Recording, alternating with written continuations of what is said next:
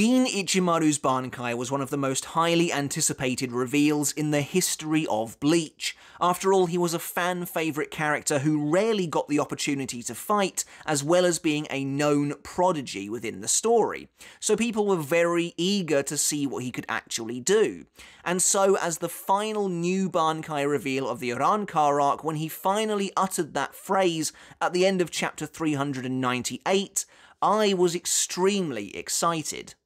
After all, Gin was one of my favourite characters as well, and I couldn't wait to see what Kubo had in store for his Bankai. However, I explicitly remember, even from all those years ago, that during my time reading Bleach weekly, this was one of the rare instances of me being actively disappointed by what I saw. I know that at their core, Bankai are effectively just supposed to be bigger, blown out versions of Shikai. Take a look at Senbon Zakura and Senbon Zakura Kageyoshi, for example.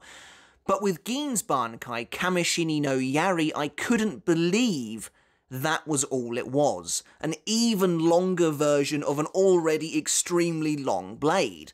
Not only did it seem quite limited, it felt redundant, especially after Ichigo countered it seemingly so easily and even returned fire. Sure, the double page spread of Karakura Town being completely sliced in half was really cool and an awesomely over the top way of showcasing this Bankai's power quickly, but I was still really let down. What I didn't realise, of course, and what I didn't pick up on at the time, was Gin is a well-known, unreliable narrator. And much like Gin himself, his Bankai is deceptive, and so was Kubo in its presentation, which I really love today. It shows a fantastic and almost profound understanding of one's own character. And so in this video, we're going to take a look at Gin Ichimaru's Bankai Kamishini no Yari and just see how it went from being initially pretty disappointing to me as a fan on a personal level, but only continued to get better and better as time went on, as Kubo slowly unraveled the layers on this thing, and yet still kept us guessing as to what was even true and what was a lie. Absolutely perfect for perhaps the slipperiest character in the entire series. Before we get started, guys, we are so very close to 150,000 subscribers, so if you want to help push us over that milestone, it would be greatly appreciated, and you get more Bleach content like this every single week. And if you enjoyed the video, don't forget to give it a thumbs up as well to help support me and the channel. And if you want to take that support another step further, we do have a Patreon for the channel as well. You can get videos like this one early and you can support me for as little as a dollar a month. To everyone who is supporting me over there, as always, enormous thank you goes out to each and every one of you. I really couldn't do it without you and I appreciate it so much. Before Gins even activated his Bankai, he is playing mind games with Ichigo, trying to throw him off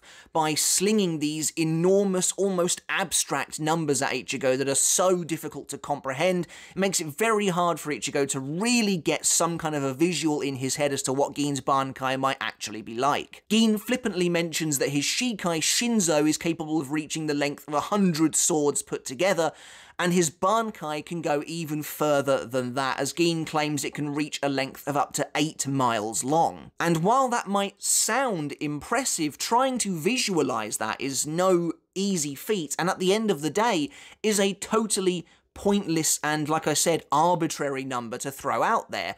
It serves no purpose at all except for to distract Ichigo from the true danger of Gin's Bankai. And I love that. I love how this Bankai is presented now that we've been able to see it in its entirety, you get the real sense of this creeping sneakiness about the way Gin goes about talking about it. And I think that is so fantastically well done and just a brilliant character moment all around. The way Kubo is able to encompass Gin's character in the way he presents his Bankai is so clever. If I'm being honest, I think Gin might win the award for the coolest Bankai activation page ever. There's just this amazing sense of slithery motion to it, from Gin's curved pose as he says Bankai to the rolling speech bubbles that seem to be moving down the page. I think that looks so awesome, to the fact that the very panels themselves have this curvature to them.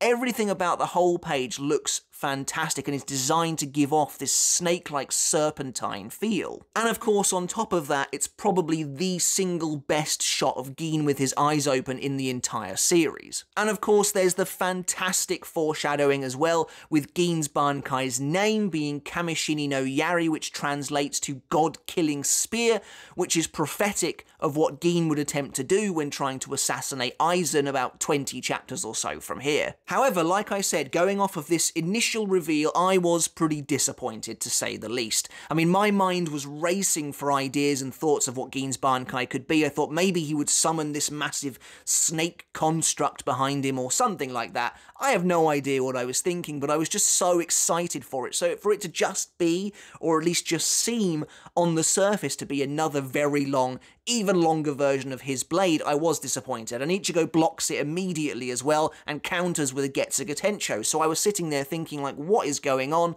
How can that all, how can that be all that Gin has to show? But just like that, a new ability of Gin's Bankai is shown off that instantly makes it more dangerous. The colossal blade of Kamishini no Yari can return almost instantaneously to its original size at the blink of an eye. This adds an entirely new layer of danger to Gin's Bankai, turning it suddenly from this seemingly unwieldy, useless massive blade into a sniper-like power. As Ichigo notes, he thinks that even though Gin's blade is shortened again, Gin hasn't actually deactivated his Bankai, and that now they're clashing up close. The moment Gin points his blade towards Ichigo, it could be all over. And of course, this is where we see Gin's intelligence coming into play as well. Now that we know his Bankai can shrink right back down instantly, it feels like that first reveal, that initial reveal, was nothing but simple bluster on his part, nothing but a random boast to really throw Ichigo off, while actually concealing the true danger within. By simply swinging his massive blade at Ichigo like that and allowing Ichigo to block it, Gin was letting him think he had the upper hand, but now he's drawing Ichigo in to fight at close range. By proclaiming his Bankai to be effectively useless since Ichigo's managed to stop it once already, and deciding to fight instead up close and lunging towards Ichigo and clashing with the small blade, what Gin does is force Ichigo's hand. The truth is that throughout all of this, Gin never stops using his Bankai, but it's also a nice way of showcasing Ichigo's perceptiveness as well as he picks up on this successfully. Gin leaps into the air above Ichigo, but rather than bringing his blade down on him, he instead darts to the side and feints and snipes Ichigo through the shoulder with Kamishini no Yari. And there you see the danger that Ichigo was worried about already, the fact that if Gin pointed it towards Ichigo's chest, for instance, he could instantly be taken out. As it slashes Ichigo's shoulder, Gin brings it down like a colossal tidal wave, sending this massive wall of dust erupting up across almost the entirety of Karakura town itself, but Ichigo thinks he sees an opening and he dives towards Gin, but of course Gin can retract his sword literally at the speed of sound essentially and manages to lock blades with Ichigo again. The fact that Gin seems to have this near instantaneous switch between offensive and defensive means you now have a Bankai that is considerably more versatile than it first appeared. But this next scenario is honestly so cool because Gin just plays into Ichigo's thought process. Ichigo thinks that he has Gin's Bankai all figured out and to his credit he's done a decent job of wading through Gin's lies and deception and half truths to kind of get to the core of what Gin's Bankai can do, or at least what Ichigo thinks it can do based on what he's been shown so far. But as Ichigo seems to explain exactly what he thinks Gin's Bankai does, Gin plays along, saying that, okay, yeah, you figured it out. So now, because you figured it out, I'll reward you by showing you exactly how fast it extends and contracts. And so Gin simply claps his hands. Gin tells Ichigo that his Bankai moves 500 times faster than that sound, and Ichigo is obviously shocked and horrified by this, because Ichigo thinks he has figured out the true power, the true danger of Gin's Bankai being its speed, and Gin plays up to that notion, saying to Ichigo, basically saying, yeah, you're right, this is how fast it goes, and that is its true danger. It's not the longest Zanpakuto, it is the fastest Zanpakuto.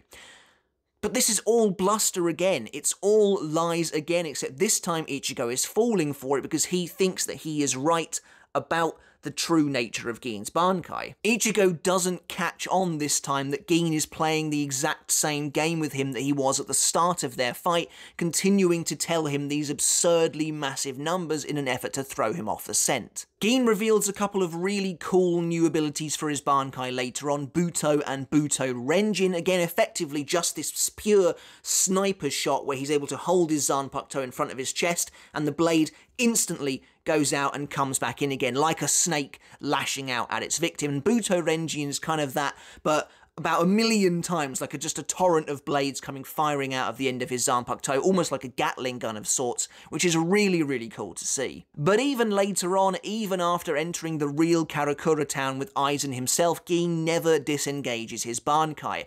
And again, that's really cool imagery because Gin's Bankai can effectively look exactly like his Shikai at all times, it is hiding in plain sight, exactly like Gin does. Again, incredibly shady, very sneaky, and you never quite know the true nature of what his blade is. He could be in Bankai at any time, which means if he's going to point his blade at you, you could be about to die. And that sense of lethality behind Gin's Bankai is such a perfect representation of him, the snake, the cold-blooded serpent that will lash out, that will strike out and finish off its enemy at any time. And it just plays up to that whole idea of unease that Gin really gives off, that sense of unease, as Rukia even mentions in the Soul Society arc, even just being around him as he spoke made her feel as though she was being strangled by snakes. This is that same idea. You could just be around this character if he's holding his Zanpakuto and have no no idea if he was actually in Bankai or not. But of course, cut through the talk about how long his Bankai is and cut through the talk about how fast his Bankai is, and we reach the truth about Kamishini no Yari. It's true power hidden away at the center of it all. When Gin attempts to kill Aizen, he reveals to him that much in the same way as he did to Ichigo earlier, he lied to Aizen long ago about how his Bankai works. It's not the longest Zanpakuto and it's not the fastest Zanpakuto either, although I do wonder what could possibly compete with him in either of those categories. Its true ability is that for a split second, when it expands and contracts again, the entire blade turns to dust, imperceptible to the human eye, but it does disappear entirely. Inside the very center of the blade itself lies a deadly poison which is able to completely destroy and kill cells. And for the split second that it turns to dust, Gin can leave one of the fragments of his blade inside the body of his victim, which is coated in that dangerous substance. Now I have a few questions actually about how this actually works and if there's more even to this than meets the eye as well. Every single time Gin expands and contracts his Bankai, does it turn to dust? Like when he was doing it against Ichigo, is it doing that same ability? And if it is, does it always leave a fragment of itself inside its victim if it if it actually goes through them? Of course, Ichigo doesn't get stabbed in the same way Aizen does right through the center of the chest. He only gets nicked on the shoulder.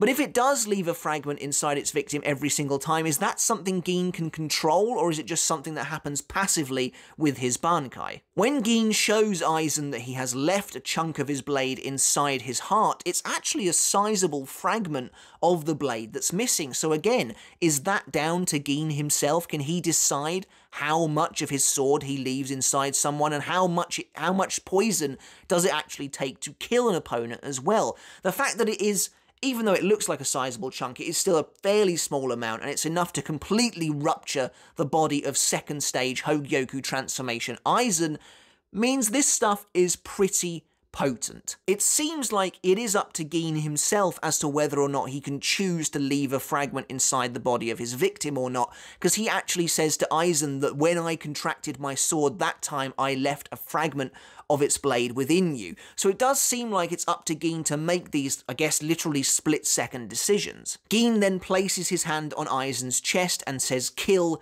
Kamishini no Yari. So I also wonder if maybe the poison doesn't actually activate and begin to break down until Gin utters that command. So again, I kind of wonder if Gin stabbed Say Gin stabbed Ichigo in the chest during their fight and left a fragment of his blade with inside him. Could Gin then just leave that for ages and then later on way away from Ichigo, say kill Kamishini no Yari, and Ichigo's body would suddenly start to break down, or does Gin have to be making physical contact at the time? There are a lot of questions regarding this Bankai which we don't have the answers to. But of course, the true ability of Kamishini no Yari is really cool, perhaps the most literal representation of a snake we have yet. The idea of a snake lashing out, leaving poison inside its victim before they even know what's hit them is really cool. And honestly, it feels like a Zanpakuto that would be really well suited to somebody in the second division. But if we take a closer look at the subtleties here as well, we can see that the true nature of Gin's Bankai,